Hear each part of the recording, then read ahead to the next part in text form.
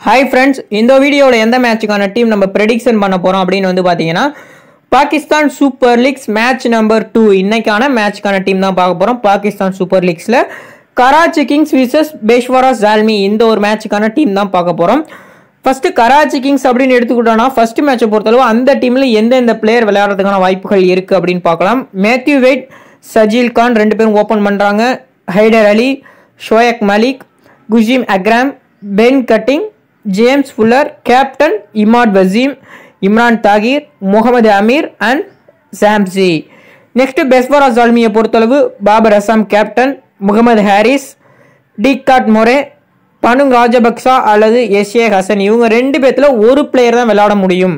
அடுத்து வந்து Harry Sohail Jimmy Neesham Amir Jamal Wahab Riaz அஸ்டபால் இக்பால் உஸ்மான் கோய்டர் முஜிபுர் ரஹ்மான். இப்போ பார்த்துருக்கக்கூடிய ரெண்டு டீம்லையும் லெவன் லெவன் பிளேயர்ஸ் இப்போ பார்த்துருக்கோம். மேக்ஸிமம் அதிகபட்சம் இந்த ஒரு லைனப் தான் இருக்கும். ப்ளஸ் எந்தெந்த பிளேயர்ஸ் எங்கே விளையாடுறாங்க அப்படிங்கிறதுக்கோசரம் தான் அந்த ஒரு லைனப் பார்க்குறோம் ஏன்னா நமக்கு டாப் ஆர்டரில் யார் இறங்குறாங்க? அண்ட் மிடில் ஆர்டர் ஒன் டவுன்லலாம் மேக்ஸிமம் நமக்கு ஓப்பன் அண்ட் தென் ஒன் டவுனில் யார் இறங்குறாங்க அப்படின்னு தெரிஞ்சால் தான் பிளேயர் பிக் பண்ணும்போது ரொம்பவுமே யூஸ்ஃபுல்லாக இருக்கும். அதனால தான் பார்க்குறது எந்தெந்த பிளேயர் விளையாடுறாங்க அப்படிங்கிறது.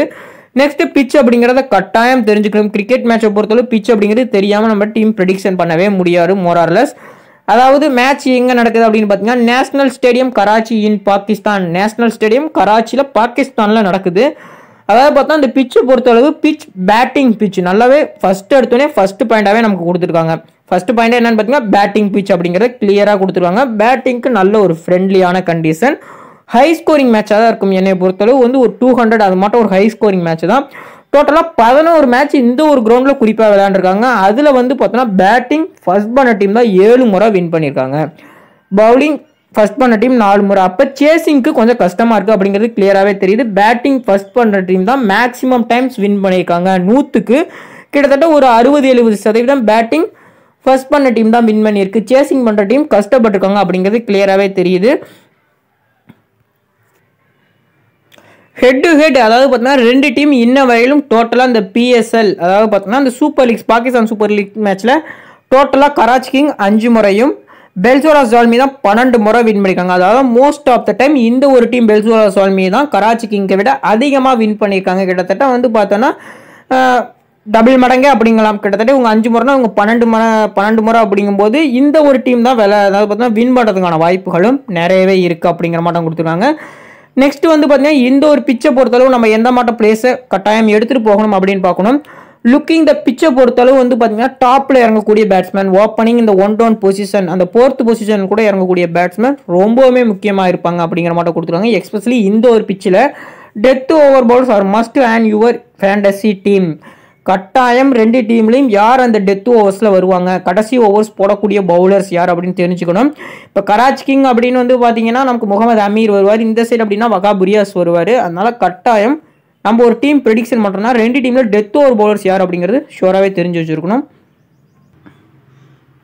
அண்ட் ஃபைனலாக நாலாவது பாயிண்ட் என்ன அப்படின்னு பார்த்தீங்கன்னா இந்த pitch comfortable for the batters கம்ஃபர்டபுளாக பேட்ஸ்மேன் ப்ளே பண்ணலாம். நிறைய ரன்ஸ் அடிக்கலாம். டாப் ஆர்டர் பேட்ஸ்மேன் அப்படிங்கிறத கிளியராக கொடுத்துருக்காங்க.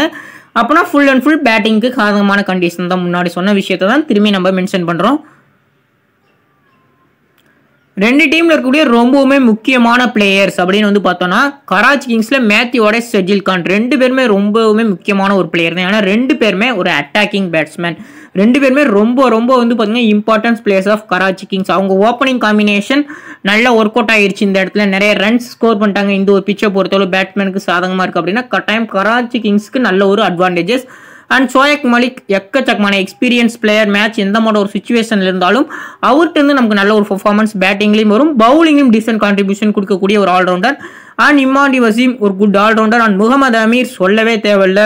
அந்த இனிஷியல் ஓவர்ஸில் பேட்ஸ்மேனை ரொம்பவுமே கஷ்டப்படுத்தக்கூடிய ஒரு bowler left arm fast bowler கட்டாயம் பாபர் அசாம் மட்டும் ஒரு பேட்ஸ்மேனுக்கு கட்டாயம் இவர் விக்கெட் எடுக்கிறதுக்கான வாய்ப்புகள் நிறையவே இருக்குது அண்ட் தென் பெல்சோர் அசாமியை பொறுத்தளவு வந்து பார்த்தோம்னா Babar Azam Mohammad Haris T Cadmore Jimmy Neesham Wahab Riaz Usman Qadir and Mujibur Rahman maximum இந்த ஒரு டீமை பொறுத்தளவு வந்து பார்த்தோன்னா எக்கச்சக்கமான இம்பார்ட்டன்ஸ் பிளேஸ் இருக்காங்க. பட் மோரார்லஸ் ரொம்பவே முக்கியமான பிளேஸ் அப்படின்னு பார்க்கும்போது பாபர் அசாம் ஜெமி நீசம் வஹாப் இவங்க தான் பார்த்தீங்கன்னா மேக்ஸிமம் ரொம்ப முக்கியமான ஒரு பிளேயர்ஸ் இவங்கள்ட்ட இருந்து நல்ல ஒரு பர்ஃபார்மன்ஸ் வந்துச்சு அப்படின்னா கட்டாயம் பெல்ஜோலா ஜால்மி ஈஸியாகவே வின் பண்ணலாம். இப்போ நம்ம டீம் ப்ரெடிக்ஷன் பண்ணும்போது ரெண்டு டீமில் இருக்கக்கூடிய டெத் ஓவர் பவுலர்ஸ் யாரை நம்ம பிக் பண்ணணும் அண்ட் ஆல்ரவுண்டர்ஸில் யாரை ட்ரை பண்ணும்? ப்ளஸ் கேப்டன் வைஸ் கேப்டன் ரொம்பவுமே முக்கியம். யாரை ட்ரை பண்ணணும் அப்படிங்கிறத சொல்கிறேன் கைஸ் ஃபஸ்ட்டு விக்கெட் கீப்பர்ஸ் அப்படின்னு வரும்போது முகமது ஹரிஸ் அண்ட் மேத்யூ வேடு ரெண்டு பேருமே ரெண்டு டீம்லையுமே ஒரு ஓப்பனிங் பேட்ஸ்மேன் கட்டாயம் இவங்க ரெண்டு பேருமே ஒரு அட்டாக்கிங் பேட்ஸ்மேன் தான். அதனால நிறைய ரன்ஸ் அப்படிங்கிறதும் இந்த ஒரு கிரவுண்டில் அவங்க அடிக்கிறதுக்கான சான்ஸ் நிறையவே இருக்குது ஒரு ஹை ஸ்கோரிங் மேட்ச் அப்படிங்கும்போது கட்டாயம் ஓப்பனர்ஸ் அப்படிங்கும்போது நிறைய ரன்ஸ் அடிக்கலாம். பவர் பிளேஸில் நல்லா செட்டிலும் ஆகி நிறைய ரன்ஸும் ஸ்கோர் பண்ணி நிறைய பாயிண்ட்ஸ் அப்படிங்கிறதுக்கு கட்டாயம் எடுத்து தரலாம். அதனால் ரெண்டு விக்கெட் கீப்பர்ஸுமே எடுத்துகிட்டு போங்க.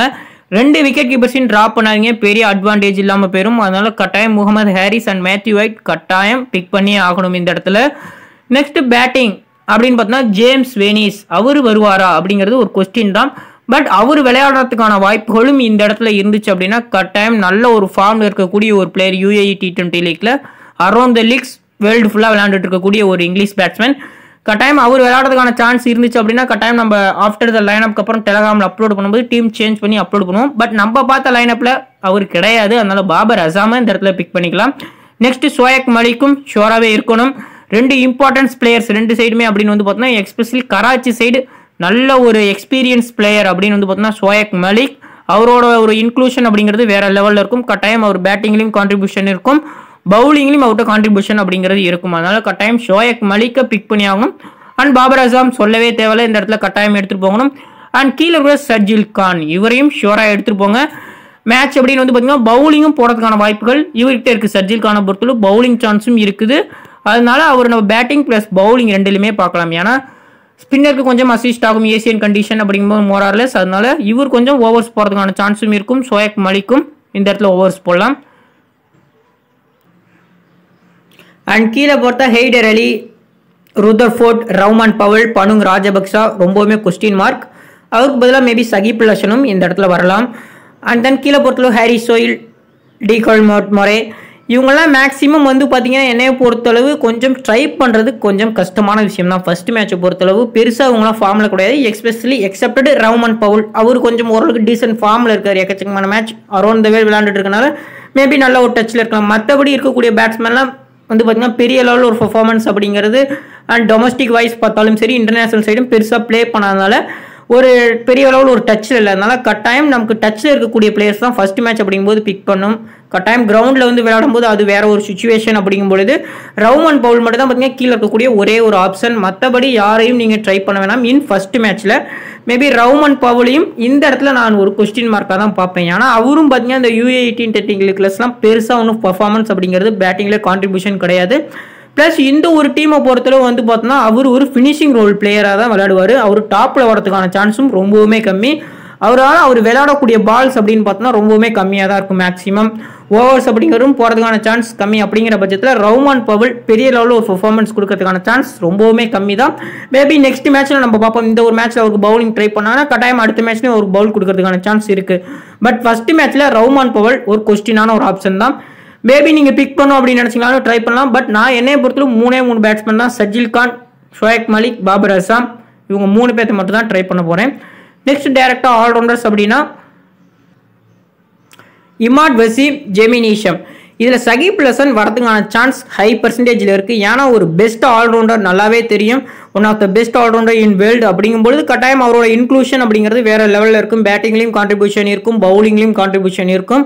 அப்படிங்கிற பட்சத்தில் சகிப் லசன் ஷோராக இருக்கணும் இமாட் வசீம் அண்ட் ஜெமினிஷம் மூணு பேருமே குட் ஆல்ரவுண்டர்ஸ் அப்படிங்களா? காரணம் மூணு பேருமே நாலு ஓவர்ஸ்மே கம்ப்ளீட் பண்ணக்கூடிய ஒரு பவுலர் இப்போ ஜெமினிஷம் அப்படின்னு எடுத்தீங்கன்னா கடையம் டெத் ஓவர்ஸில் வருவார் மிடில் ஓவர்ஸில் வருவார். இமாட் வசீம் பவர் பிளேஸில் போடுவார் நல்ல கண்ட்ரோல் பவுலர் ப்ளஸ் சகிப் லஷனும் பவர் பிளேஸ் ப்ளஸ் மிடில் ஓவர்ஸில் வரக்கூடிய பவுலர் அதனால இந்த ஒரு ஆல்ரவுண்டர்ஸ் குறிப்பாக நான் மூணு பேருமே நாலு ஓவர்ஸ் போடுவாங்க அப்படிங்கிறனால கட்டாயம் இவங்க நாலு பேர்த்தையும் பிக் பண்ணோம் அப்படின்னா பேட்டிங் ப்ளஸ் பவுலிங் ரெண்டுலையுமே நமக்கு கான்ட்ரிபியூஷன் அப்படிங்கிறது ஷுவராகவே இருக்கணும். கீழே கூடிய பென் கட்டிங் மற்றும் James Fuller. James Fuller more or less ஒரு பியூர் பவுலர் தான் மேக்ஸிமம் பேட்டிங்கோட பவுலிங்கில் நம்பி எடுத்துகிட்டு போகலாம். பட் நம்ம பியூர் பவுலர்ஸ் அப்படிங்கிறதுக்கு போயிட்டு நெக்ஸ்ட் வந்து பென் கட்டிங்கா இல்லை ஜேம்ஸ் புல்லரா அப்படிங்கிறத பார்க்கலாம். பவுலிங்கை பொறுத்தளவு வகாபுரியாஸ் அண்ட் முகமது அமீர். ரெண்டு லெஃப்ட் ஆர்ம் ஸ்டேஷனும் ஷோராகவே இருக்கணும். இந்த இடத்துல நம்ம ரெண்டு லெஃப்ட் ஆர்ம் ஃபேசர்ஸ் இல்லாமல் போனோம் அப்படின்னா கட்டாயம் ஒரு டிஸ்அட்வான்டேஜ் காரணம் ரெண்டு பேருமே வெறும் விக்கெட் டேக்கிங் பவுலர்ஸ் ரெண்டு சைடுமே ப்ளஸ் ரெண்டு பேரும் ஓரளவுக்கு டீசெண்டாக பேட் பண்ணக்கூடிய ஒரு bowlers அப்படிங்களாம் advantage of left arm fast bowler. அதான் பார்த்தீங்கன்னா ஒரு லெஃப்ட் ஹேண்டர் ஃபாஸ்ட் bowler அப்படிங்கும்போது அட்வான்டேஜ் ரைட் ஹேண்ட் பேட்ஸ்மேன் கட்டாயம் அந்த இடத்துல விக்கெட் விழுகிறதுக்கான சான்ஸ் நிறையவே இருக்கும். வகாபுரியாஸ் விசஸ் வந்து இந்த சைடு வந்து பார்த்தோன்னா ஓப்பனிங் பேட்ஸ்மேன் மேத்யூ வெயிட் இருக்காரு சஜில் கான் அல்லது அதுக்கு கீழே இருக்கக்கூடிய பிளேயர் ஒரு சோயக் மலிக் இவங்கள மட்டும் பேட்ஸ்மேனாக கொஞ்சம் அவர் ட்ரபிள் பண்ணுவார். முகமது அமீர் அப்படின்னு வந்து பார்த்தீங்கன்னா கராச்சியிலேருந்து ஒரு பாபர் அசாம் முகமது ஹரீஸ் மட்டும் பேட்ஸ்மேனை இனிஷியலாக ட்ரபிள் பண்ணுவார் ஸ்விங் மூலியம். அதனால ரெண்டு பிளேயர்ஸுமே ஷுவராகவே இருக்கணும். இன்னும் ஒரு பிளேயர் அப்படின்னு வந்து பார்த்தீங்கன்னா ஆண்ட்ரூ டை நம்ம பார்த்தது இல்லை மேபி பிளேயிங் லெவலில் இருந்தால் ஷோராக எடுத்துகிட்டு போகலாம். அண்ட் இம்ரான் தாகித் அப்படின்னு வந்து பார்த்தீங்கன்னா எக்ஸ்பீரியன்ஸ் வைஸ் எக்கச்சக்கமான எக்ஸ்பீரியன்ஸ் ஏஜ் அப்படின்னு பார்க்கும்போது கிட்டத்தட்ட ஃபார்ட்டி ஆயிடுச்சு ஃபார்ட்டி ப்ளஸ் ஐ திங்க் அதனால் அவர்கிட்டருந்து விக்கெட் கிடைக்குமா அப்படின்னு கேட்டிங்கன்னா கொஞ்சம் சந்தேகம் தான் நல்ல ஒரு பவுலர் தான் இல்லைன்னு சொல்ல பட் ப்ளே பண்ணிக்கிட்டே இருக்கணும். டச்சில் இருந்தால் தான் அவங்களும் பெர்ஃபார்மன்ஸ் அப்படிங்கிறது கொடுக்க முடியும். அதனால இந்த இடத்துல இம்ரான் தாகிரை நான் பிக் பண்ண போகிறது கிடையாது. And Andrew Tye maybe line அப்பில் இருந்தாருன்னா கட்டாயம் எடுத்துகிட்டு போவோம். இப்போ நான் ஃபைனலாக சொன்னேன் பென் கட்டிங் அல்லது ஜேம்ஸ் புல்லர் இவங்க ரெண்டு பேர்த்தில் ஒரு பிளேயர் சொன்னேன். இதில் ஜேம்ஸ் புல்லர் டெத் ஓவர்ஸில் சூப்பராக பண்ணுவார் ப்ளஸ் நாலு ஓவரும் கம்ப்ளீட் பண்ணுவார். பென் கட்டிங் மேபி ஒரு ரெண்டு ஓவர் ட்ரை பண்ணலாம் அல்லது ஒரு ஓவர் பட் ஜேம்ஸ் புல்லர் பேட்டிங்லேயும் இருக்கும் கான்ட்ரிபியூஷன் பவுலிங்லேயும் இருக்கும். அதனால் கட்டாயம் நீங்கள் ஜேம்ஸ் புல்லரை எடுத்துகிட்டு போகலாம். பிக்கிங் வைஸ் பார்க்கும்போது ரொம்பவுமே லோ பர்சன்டேஜ் பிக்கிங் பிளேயர் அதான் பார்த்தீங்கன்னா நமக்கு இருக்கக்கூடிய ஒரே ஒரு அட்வான்டேஜ் காரணம் மேக்ஸிமம் அவரை ட்ரை பண்ணுறதுக்கு இந்த இடத்துல யோசிக்கக்கூடிய ஒரு விஷயமா இருக்கும். பட் இந்த இடத்துல நம்ம ட்ரை பண்ணோம் அப்படின்னா கட்டாயம் நல்ல ஒரு ப்ராஃபிட்டபிள் பிளேயராக இருப்பார். அதனால் ஜேம்ஸ் உள்ளரை இந்த இடத்துல பிக் பண்ணிக்கலாம். இப்போ ஃபைனலாக வந்து பார்த்தோம்னா டீம் பிக் பண்ணியிருக்கோம். சிக்ஸ் ஃபைவ் ஒரு காம்பினேஷன் ரெண்டு சேமே ஈக்குவலிங் தான் எடுத்திருக்கோம். பேட்டிங்கும் சரி பவுலிங்குமே சரி. காரணம் வந்து பார்த்தீங்கன்னா இது ஒரு ஹை ஸ்கோரிங் மேட்ச் அப்படிங்கும்போது கட்டாயம் ரெண்டு டீம்லேயும் பெர்ஃபார்மன்ஸ் பேட்டிங்லேயும் வரும் கான்ட்ரிபியூஷன் பவுலிங்லேயும் வரும். அண்ட் டெத் ஓவர் பவுலர்ஸ் ரெண்டு டீம்லேயும் வகாபுரியாஸ் இருக்கார். And Mohammad Amir. James Fuller போடுவார். இந்த கடைசி ஜெமி நீஷம் போடுவார். அதனால ரெண்டு சைடுமே டெத் ஓவர் பவுலர்ஸும் ஃபுல் அண்ட் ஃபுல் கம்ப்ளீட் பண்ணியிருக்கோம். அண்ட் மிடில் ஓவர் பவுலர்ஸ் அப்படின்னு பார்த்தீங்கன்னா இமாட் வசீம் அண்ட் சகிப் லசன் உங்களோட பெஸ்ட் ஸ்பின்னர்ஸ் அப்படிங்கலாம் ரெண்டு டீமில் இருக்கக்கூடிய. அதனால் ரெண்டு சீமே ஈக்குவல் பவுலிங்காக இருக்கட்டும் பேட்டிங்காக இருக்கட்டும் கரெக்டாக எடுத்திருக்கும். அண்ட் கேப்டன் வைஸ் கேப்டன் ஃபைனலாக ரொம்பவுமே முக்கியமான விஷயம். இதில் பாபர் அசாம்க்கு முப்பத்தேழு சதவீதம். காரணம் அவர் ஒரு high quality player Pakistan pan Pakistan player அப்படிங்கிறனால அட்வான்டேஜ் அதிகம் இருக்கும் அப்படிங்கிற மட்டும் யோசிச்சு ஒரு முப்பத்தேழு சதவீதம் ட்ரை பண்ணியிருக்காங்க பட் என்னையை பொறுத்தளவு கேப்டன் அப்படிங்கும்பொழுது நான் இமாட் வசீம்க்கு ட்ரை பண்ணேன். இமாட் வசீம் பெஸ்ட் ஸ்பின்னர் நல்லா கண்ட்ரோல் கொடுக்கக்கூடிய ஒரு ஸ்பின்னர் பவர் பிளேயில் வந்து பார்த்தீங்கன்னா எக்கச்சக்கமான விக்கெட்ஸ் எடுக்கக்கூடிய ஒரு பவுலர் ப்ளஸ் பேட்டிங் அப்படிங்கிறதும் வந்து பார்த்தீங்கன்னா இந்த மிடில் ஆர்டரில் சூப்பராக பண்ணக்கூடிய ஒரு ஆல்ரவுண்டர் நமக்கு ரெண்டு ஆப்ஷன் இருக்குது இந்த இடத்துல வந்து பேட்டிங்கில் கான்ட்ரிபியூஷன் இல்லைனாலும் பவுலிங்கில் கான்ட்ரிபியூஷன் இருக்கும். இதே பாபர் அசாம் அப்படின்னா கட்டாயம் இந்த கடைசி முகமது அமீர் இந்த சைடு வரும்பொழுது கட்டாயம் அவர் வந்து கொஞ்சம் ட்ரபிள் ஆகுவார். லெஃப்ட் ஆம் ஃபாஸ்ட் பாலர் அகேன்ஸ்டாக எந்த ஒரு ரைட் ஹேண்ட் பேட்ஸ்மேனும் என்றைக்குமே விக்கெட் எடுக்கிறதுக்கான ஆப்பர்ச்சுனிட்டிஸ் நிறையவே இருக்குது அதனால் முகமது அமீர் இனிஷியலாக வரும்போது ஸ்விங் இருக்கும் சீம் இருக்கும் அப்படிங்கும்போது பாபர் அசாம் இந்த இடத்துல விக்கெட் போகலாம் அல்லது முகமது ஹரீஸ் விக்கெட் போகலாம். அதனால் பாபர் அசாமுக்கு நான் கேப்டன் அண்ட் வைஸ் கேப்டன் ரெண்டு சாய்ஸுமே வைக்க போகிறதில்ல அண்ட் கேப்டன் அப்படின்னு பார்க்கும்போது இமாட் வசீம் கோப்பேன் அண்ட் வைஸ் கேப்டன் அப்படின்னு வந்து பார்த்தீங்கன்னா ஜேமி நீஷத்து வைப்பேன் ரெண்டுமே ஒரு டிஃப்ரெண்ட் காம்பினேஷனாக நீங்கள் யோசிக்கலாம். பட் ரெண்டுமே சக்ஸஸ்ஃபுல்லான ஒரு பிக்கிங் அப்படிமே. காரணம் ரெண்டு பேருமே ஒரு ஆல்ரவுண்டர்ஸ் ரெண்டு பேருமே வந்து பார்த்தீங்கன்னா ஃபோர் ஓவர்ஸ்மே கம்ப்ளீட் பண்ணுவாங்க. அதனால அட்வான்டேஜ் அப்படின்னு பார்த்தீங்கன்னா கேப்டன் அண்ட் வைஸ் கேப்டன் ரெண்டுக்குமே இருக்குது அல்லது வைஸ் கேப்டன் நீங்கள் சகிப் லசனுக்கு ட்ரை பண்ணலாம். பட் என்னை பொறுத்தவரை ஜெமின் ஈஷமும் குட் ஆல்ரவுண்டர் நல்ல ஒரு ஃபார்மில் இருக்கிறாரு. நாலு ஓவர்ஸும் போட்டுட்ருக்கனால சொல்கிறேன் அவருக்கு நீங்கள் வைஸ் கேப்டன் சாய்ஸ் வைங்க. And captain charge Imad Wasim கோயிங்க நான் கிளியராக சொல்லியிருக்கேன். பாபர் அசாமுக்கு எடுத்துகிட்டு போகாதீங்க. காரணம் என்ன அப்படிங்கிறதையும் சொல்லியிருக்கேன். அல்லது நீங்கள் என்ன ரிஸ்க் எடுத்து ட்ரை பண்ணுறது அப்படின்னாலும் ட்ரை பண்ணலாம். ஃபைனலாக டீமை பொறுத்தளவு wicket keeper Matthew Wade Mohammad Haris பேட்டிங்கில் Babar Azam Shoaib Malik and Sajil Khan allrounders Jimmy Neesham Shakib Lasan James Fuller and Imad Wasim bowlers Mohammad Amir and Wahab Riaz captain so far Imad Wasim and Jimmy Neesham இப்போ okay guys இப்போ நான் வந்து ஃபைனலாக team prediction பண்ணிட்டேன் just இந்த team உங்களுக்கு பிடிச்சிருந்தா மட்டும் ட்ரை பண்ணுங்கள் மற்றபடி நீங்கள் ட்ரை பண்ண வேணாம். அண்ட் நம்ம இவ்வளோ எஃபெக்ட் போட்டு எடுத்ததுக்கு ஒரு லைக் மட்டும் போட்டுருங்க. அண்ட் தென் நம்மளோட சேனல் பிடிச்சிருந்தாலும் மறக்காமல் சப்ஸ்கிரைப் பண்ணிக்கோங்க. நம்ம அடுத்த வீடியோவில் பார்ப்போம். By by